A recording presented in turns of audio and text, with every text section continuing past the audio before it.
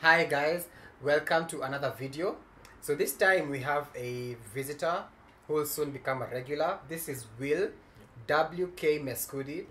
That's his handle almost everywhere. So you guys can already find him. He has a channel on YouTube as well. He's a fellow Kenyan YouTuber. Links to his channel will be the first thing you guys see in the description below. So Will had a really good idea that we do videos on just random issues that affect the tech space in Kenya. The first thing we thought to talk about is internet, the Yes, internet, yeah. Um, I generally, generally, we are talking about the state of internet in Kenya. Um, internet in Kenya is in different sectors, maybe wireless internet, cellular internet, and wired, maybe with fiber also. So we are breaking it all down and trying to explain to you what is good and what's we think. Yeah, also we'll try and look at some issues you guys may be facing because I'm thinking when you're going online, you're going to search for router is not working, Zuku has issues, my modem is has is going nuts. You know, we tell you alternatives and also things you can look at when you're going towards buying your next inter your next device um, with relation to internet and to accessing the web. Um, let me start with the, the new one, the new kid in the block, uh, Telkom. I like Telkom. I like it because uh, first of all, they, they've introduced the second company to introduce 4G. 4G now, two companies now own Safaricom Yeah. and uh, Telkom now own 4G.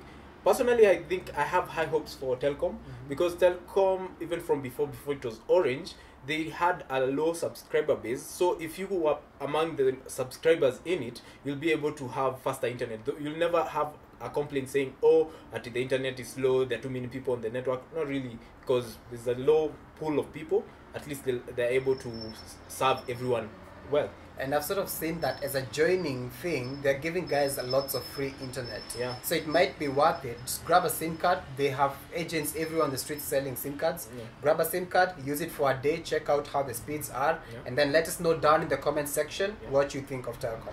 Yeah, and then of course Safaricom has always been Safaricom. The, the big the big kid on the block. Yeah, the big kid in the block. Uh, Safaricom, ha- right now, they've branched in so many. Currently, they're doing broadband, Yeah. which they have 4G, there's all, they've always had their 3G, but their 4G isn't in all places, it's only in major towns, Major Nairobi, Kisumu, Mombasa, but other places not yet, and I think they're still expanding. And still, I would say their network isn't perfect Yeah. because there are areas that have big issues, especially crowded areas. You tend to have uh, dropped calls. Yeah. But then again, generally speaking, Safaricom does have the best coverage. Yeah, it has the best coverage Then then followed by Airtel. Yeah, followed by Airtel. Yeah. Uh, Airtel is a good network. Mhm. I like Airtel for the Personally, I use Airtel. yeah. Yes. Uh-huh. um, I, I also I have Safaricom SIM cards mostly, Uh-huh. but Airtel is a good market. It's it's just that over time they they've lost their subscribers. Uh-huh. I think mostly because of M-Pesa. People are so Yeah. strugg- M-Pesa is like the king right now. All the other mobile money transfers are struggling down there. So right now, I think Airtel is a good network, and it was the fast network actually. So uh, if they upgraded as fast as they did long ago, they would be among the top. Then there's other thing that it's a real thing. Yeah. Before I had Zuku, Yeah. I was using modems. Yeah. Stick oh modems. my god. I have an I have a Safaricom stick. I Yeah. I have an Orange. orange stick, Yeah, true. and I have an Airtel stick. Yeah, yeah. But mostly I used to use the orange and Airtel sticks. Especially. Yeah. So what do you think about these sticks? Um. Especially caps. Caps. Oh my god. Okay. First of all, Safaricom. I don't know. Are you too greedy that you can't give back to Kenya? Oh, I don't know. Um, I find Safaricom. Yes, you have the infrastructure, you have uh, uh, everything, but you're too you're too greedy. You don't want to give back to the people. Like p- personally, for you to watch this video, you'll have spent more than 500 Kenya shillings just to watch this video Just imagine. for just internet. Come on, it's it's It doesn't it's it doesn't make sense. It should be cheaper. Orange was always a good player, but over time I think they went a bit on losses, so they had to be backed up by the government and all that. So I think right now with Telkom, they really have a good chance to come back Oh, yeah. and have a good upbringing, Yeah. and at least more, more people still have hope. And they can really come back to your network as long as you offer the proper service and the proper speed of internet. I used to have the the most the stick that I used mostly was the orange stick. Yeah. Um, network, of course, I had to make sure I was in a certain place in my room to get the best network. Yeah. But then, Orange had sort of the best sort of bundle to offer because they had the un- they, they had the unlimited or unlimited unlimited monthly.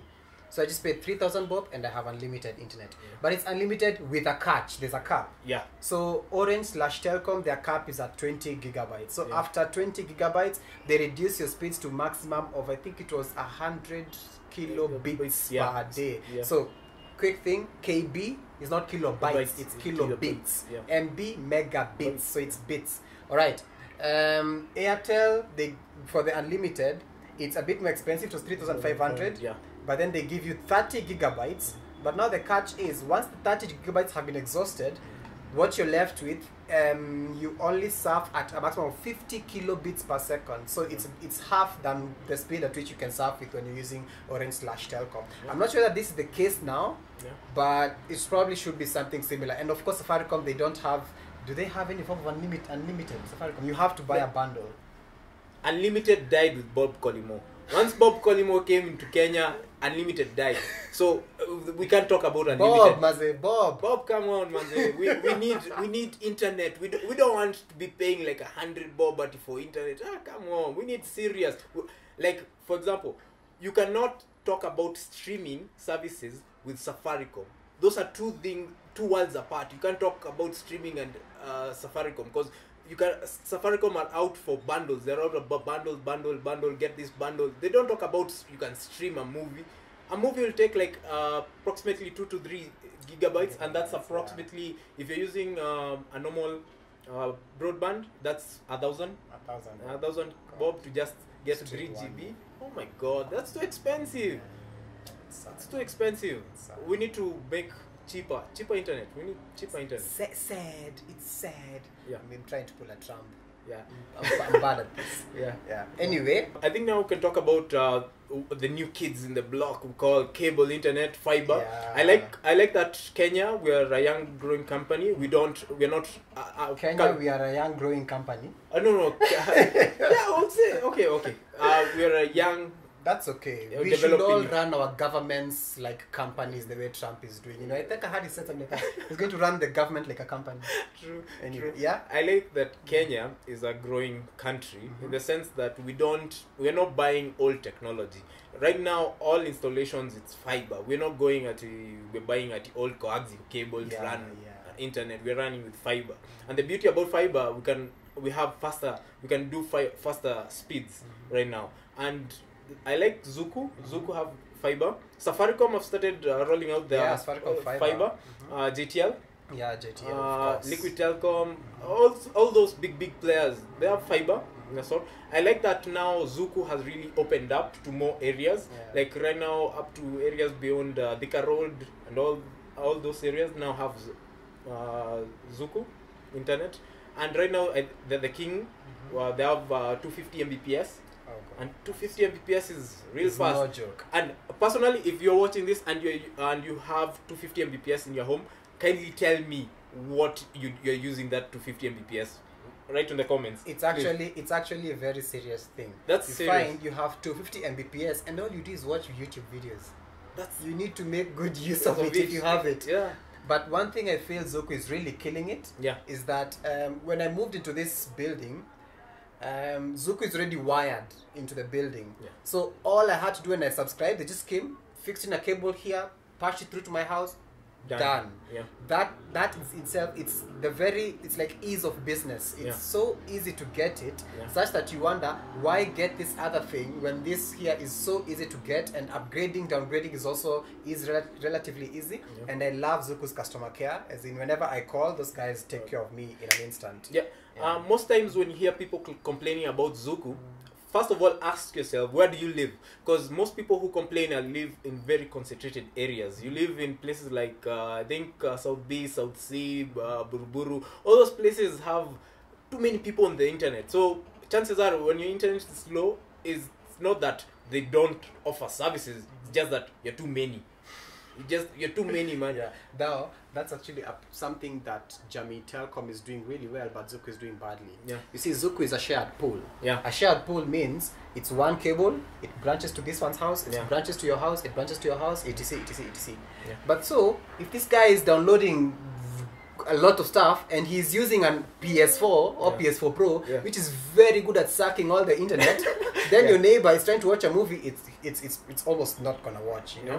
But then Jamii Telcom have found this way of it's your own 20 Mbps. It will always be at 20, 20. itaenda at 10. Yeah. Not Zuku sometimes in the morning, say you're trying, you have 50 Mbps, but it's at IPT 10. You know? Yeah. So that is something I think they could do better. Yeah, but uh, currently I can't complain where I live. Mhm. The the infrastructure is quite new, Yeah. and the, I can't. I don't have any complaints that at the internet is slow or whatever. Um, it's good. It's good. I'll say I have uh, the 50 Mbps. It's good, and 50 is, is nice. We are uh, personally I'm a gamer, and gaming with uh, 50 Mbps. We are good. We are good. We uh, we represent Kenya wherever we are online. This guy, Battlefield, will be his undoing. Yeah, Me, right now, I'm playing Forza Horizon 3. I know, old game. I'm playing it on the Xbox One S. Yeah. Also has an Xbox One Yeah. S. So Xbox fans, cool. Xbox, Yes. Xbox. If you're PS, stop watching. Yeah, You're not welcome. yeah. but we're kidding. We're kidding. We're kidding. Everyone is welcome. Oh, game is is welcome. Uh, Yeah. So I feel I've lost my train of thought now. Okay. Um, Mhm. we can also Safaricom. Personally, Safaricom, you need to have a way that right now where you're rolling out your fiber is awkward. Let's say, how can you be rolling out fiber in Nairobi? Already, so many people have fiber in Nairobi. Why can't you branch out? Come to like uh, Thika. Go to go to further areas like. Find foundation in areas that are upcoming. Find like uh, Yeah. Tatu City will come up. As in, those are the areas you need. They are your niche areas. Yeah. Like try to go to such areas, not trying to saturate a network that is already saturated. As in, and even even the service you're offering, it's even more expensive than whatever somebody owns. So what, uh, what, what is the convincing factor? Yeah, that's true. I've also I've also heard though. I've read online. It was on Techweez. I think guys were discussing Safaricom Fiber. Yeah. I hear it's actually really good. I Yeah. hear it's really Yeah, good. it's I good. think it works really well. Yeah. You know. So if you use Safaricom Fiber, Yeah.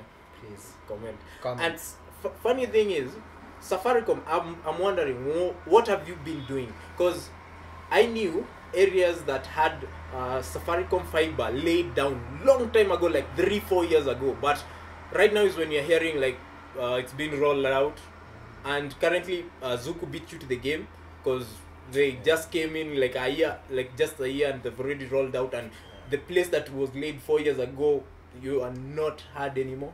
Yeah, so it's it's quite hard to understand your sales pitch and how you're going to work it out. But uh, no complaints. I haven't tested out your internet, so I'm yet to feel the fiber internet. But your broadband, aha, that we cannot talk anymore. Yeah. It's too expensive. It's too expensive. It's too expensive. Um, I also really like Safaricom's big box. So I'm thinking the idea of one box is giving me internet, Wi-Fi, and TV all in one. That thing is a really, really cool idea. But again, Safaricom, you're doing bundles. No, that cannot work. So big box, tick, really good idea. But the internet sec- segment of it, um, if there was a way to make it a monthly subscription, so I just pay one figure a month and I have internet for the whole month, regardless of the speed, that would be really nice. And then now, since because most of these boxes are aimed at, um, you know, someone who doesn't have that much money to spend on 50, 100 or 50 Mbps internet, so you have cheap bundles for them. The speed may not be as high, but Yeah. at least they have enough internet to know that when they come home, they can surf, they can do some research, they can do their assignments, they can do some work, you know. Yeah. So, Yeah, I think cur- in this current age, we'll say us millennials, there's well, first thing I think the number one thing in my list is internet. I don't care about TV, at what's on local TV. I don't care about. I want internet, and internet has become like the number one priority. And I would say like for us young people, I think the internet has been a mind opener for us. as even most jobs that we are getting currently uh, through the internet, and almost everything that is coming up currently will be through the internet, Internet. or has something to do, to do with the internet. So Yes. if you, if Safaricom you're making and all the other companies, if you think of making uh, internet expensive, you're really making it hard for us to grow, and we are your future generally. Us the young people, we are your future. Kindly make it lower, so that at least more more young people can enjoy Can this. get Yeah. So, yeah, that wasn't too long, was it? yeah, Yeah, so thank you for watching. Yeah, from my point of view, I think this was a really good talk. And the one thing I want to ask you guys is we were hoping to do more of this type of thing. So, what we want is your input. What do you feel we should talk about next in relation to technology? Yeah. Anything that has the word tech in it, yeah. we can co- talk about. Yeah. So just ask questions down in the description. We'll also hold Q and A sessions where we just take all of your questions and we answer them one by one. yeah. So we have like dedicated videos for Q and A. So submit any questions and any things you'd like us to talk about down in the comment section. Or through our Instagram and Facebook, WK Mescudi, Mescudi, Kennie the Techie, yeah. and then from there, hopefully, we're gonna do this more often. Yeah. Mm-hmm. Um, as you said, um, WK Mescudi, I do tech videos, and currently I'm, I'm still bringing up my channel. I've been it's been a while since I did videos, so keep in mind I'm I'm really really trying to come back. Yeah, He's good. He's good. Yeah. I would like to know from personal view. Uh, try doing speed tests at your own time. Uh, tell me what's the fastest speed you've ever seen on 4G internet for Safaricom, and whoever has telecom, t- tell me how much speed you get for 4G uh, internet for telecom. Yeah. We really, um, I don't think there's any, anywhere written the proper speed, so we just need to have a rough estimate on what we're really getting. Because 4G can be 4G, but 4G needs to be defined as what it is, how much you're Will getting. wants to crown a winner between Safaricom's 4G Yeah. and Telkom's 4G. Yeah. So yeah, you guys tell us which Yeah. one was faster. Yeah. Yeah. So thank you for watching. Subscribe if you're not yet a member of this awesome tech community. Yeah. If you liked the video, thumbs, Thumbs up, up. share it. If you didn't like it, you can also hit that other button. We don't mind, and we will always catch you in the next one. Peace.